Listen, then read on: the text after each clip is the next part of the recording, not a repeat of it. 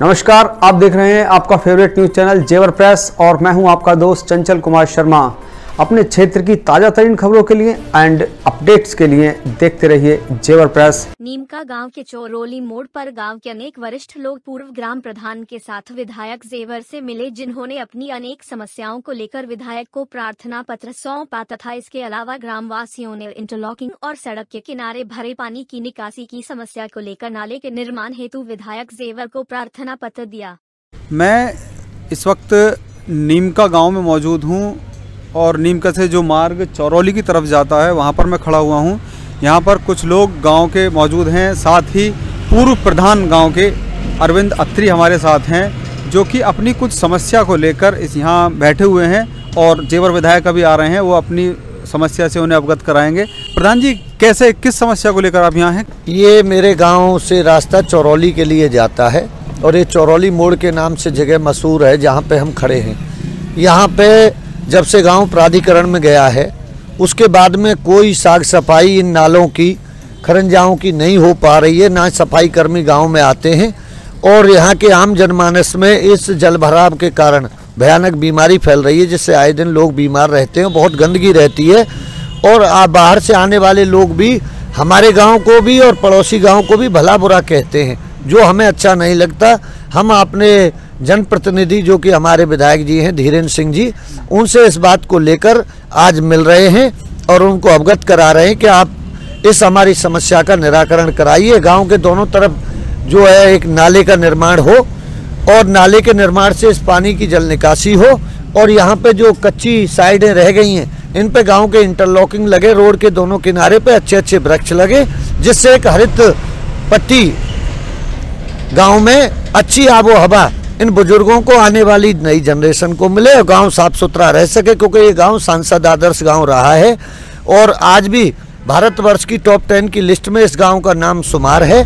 तो हम ये चाहते हैं, हमारी ये पहचान बनी रहे। तो जब से एयरपोर्ट की कवायद शुरू हुई है इस क्षेत्र में, तब से यमुना प्रौद्योगिकरण क्षेत्र के अंतर्गत ये गाँव आने लगे हैं और इन गाँवों में प्रधानी खत्म कर दी गई है। अब इन गाँवों में प्रधान नहीं होते। तो ये ज़िम्मेदारी प्राधिकरण की बनती है कि वो इन गाँवों की देखरेख करे जल भराव की समस्या से लोगों को निजात दिलाएँ। जी बताओ जी आपकी क्या समस्या है? जी बताएँ। देखिए मैं चौरौली से हूँ। नीम के पम खड़े हुए हैं। यहाँ की समस्या के लिए हमने समाधान दिवस में तीन चार बार नीमका के पंडित जी को भी साथ लेकर के हमने एप्लीकेशन दी। इस पर देखाभारी होती है, बाकी काम कुछ नहीं होता। ये जो सड़क है, एक किलोमीटर आठ सौ पचासी मीटर है। और ये प्रधानमंत्री योजना के अंतर्गत बनाई गई थी, जिसकी म्याद अभी ग्यारह ग्यारह नवंबर बीस तक की है। प्राधिकरण को मैंने खुद तीन बार तहसील दिवस में लिख कर के दिया तो वो बारीक बदी लेके और काला रंग करके उन गड्ढों को भर जाते हैं, वो चार दिन के अंदर ही उखड़ जाती है। मैं विजय शंकर शर्मा, गाँव नीमकाई निवासी हूँ और मेरी और मेरे भाई की जगह, दुकान, मकान सब इसी रोड पे हैं, जो चौरौली साइड की रोड साइड है रोड की, उसी पर हम बसे हुए हैं।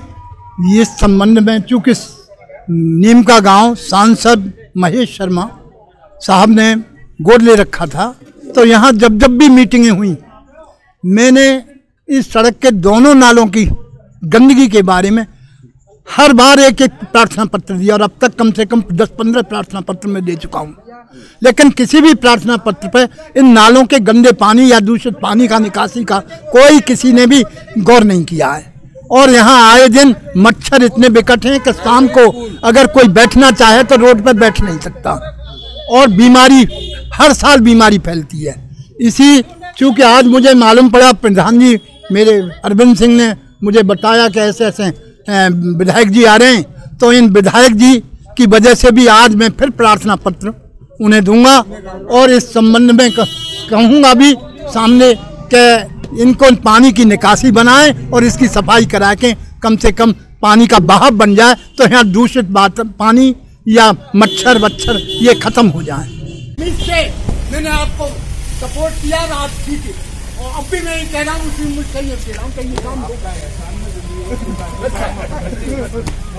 विधायक जेवर सड़क एवं गली निर्माण योजनाओं के तहत लगभग डेढ़ करोड़ की योजनाओं का शिलान्यास करने गाँव चोरोली पहुँचे थे, जहाँ उन्होंने ग्राम स्थित चौपाल पर लोगों से मुलाकात की तथा उनकी समस्याओं को सुनाई इसी अवसर पर मार्ग में उपस्थित नीम का ग्राम वासियों की समस्याओं को सुनकर उनके शीघ्र निस्तारण का आश्वासन दिया।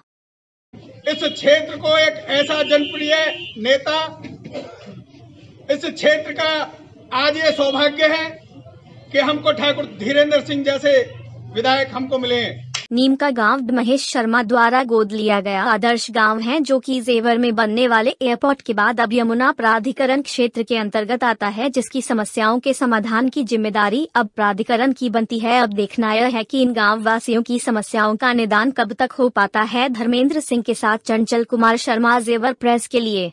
और यदि आपने अभी तक हमारे चैनल को लाइक और सब्सक्राइब नहीं किया है तो प्लीज़ फेसबुक पेज और यूट्यूब पर जेवर प्रेस जेवर के नाम से आप हमारे चैनल को लाइक एंड सब्सक्राइब कर सकते हैं। Thank you very much.